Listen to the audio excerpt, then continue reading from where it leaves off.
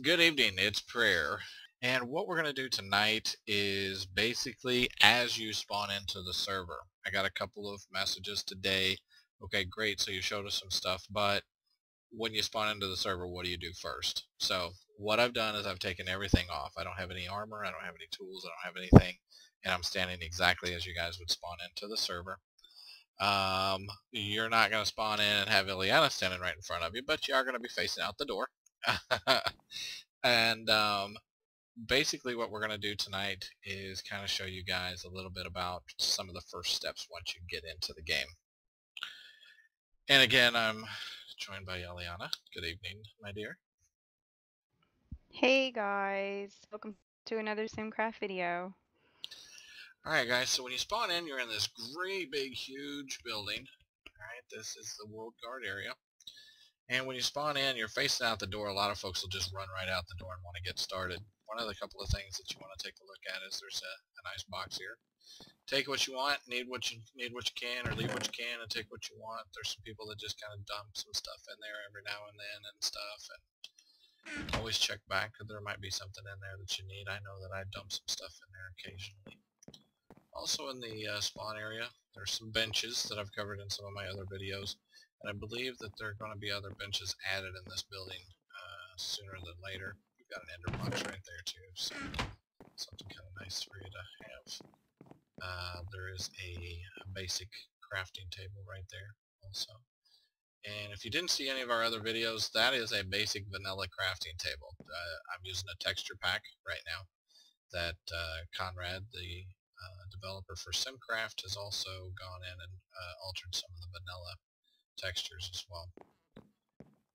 A lot of the textures, the bricks, things that you're going to see in my videos are all from the uh, SimCraft mod, okay?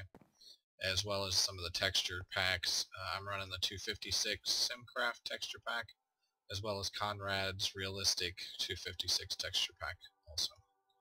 Uh, so that's why you see some of the trees. They look really, really good. They're really clear.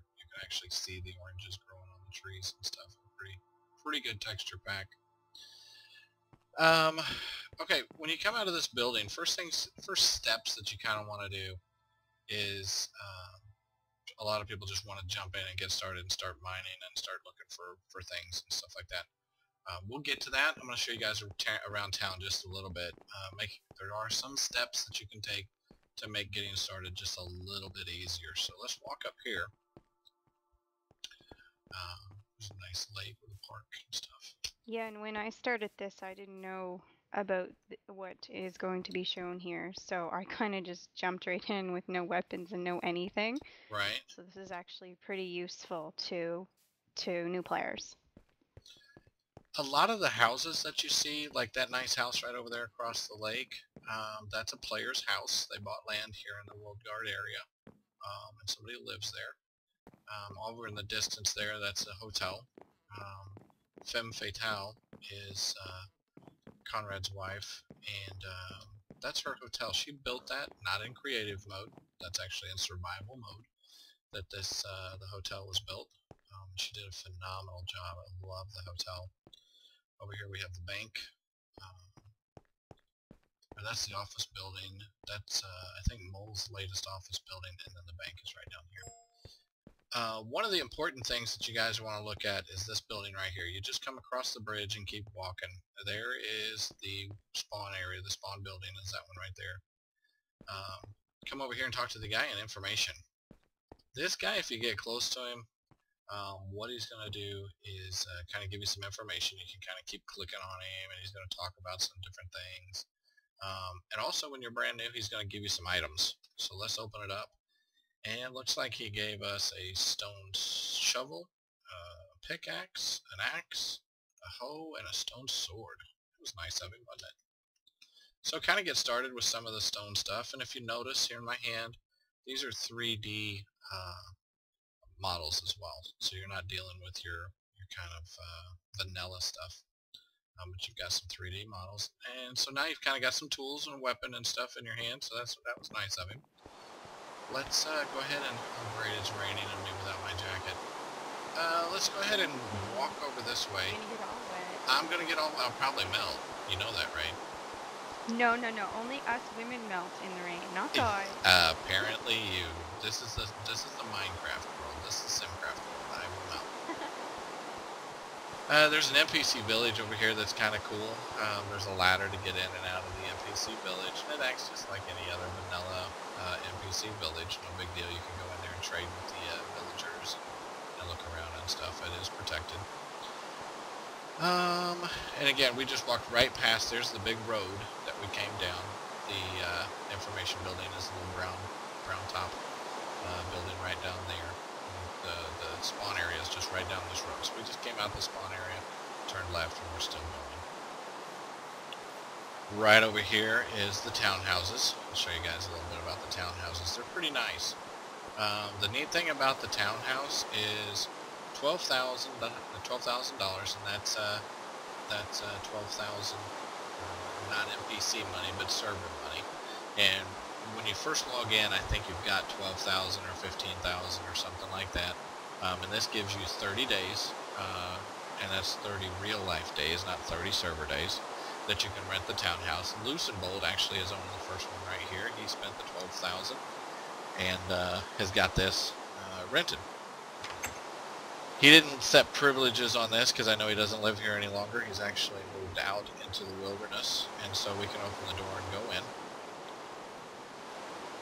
And it's a nice little townhouse. Uh, it's got its own private backyard. You can plant trees if you'd like. You can plant crops. You can do some different things. Nobody can bother your back door. And it does have residents. We use residents on this server. Um, so you can set flags so nobody can come in and open your back door and come in the front door or any of that other stuff. So you can you can set those.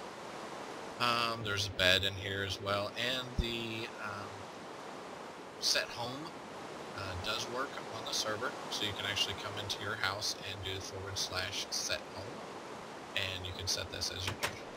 So if you die or if you teleport back, there's not teleporting is not allowed on the server, but there are two uh, teleport commands that work.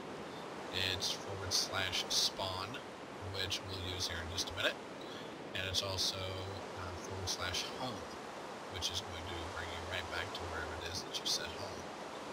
Downstairs, which is really neat, um, there are lots of storage downstairs. Um, pretty neat. Got lots of chests already in place. Um, there are furnaces, which that's the default furnace. That's the default vanilla furnace, and there are the default uh, crafting tables again.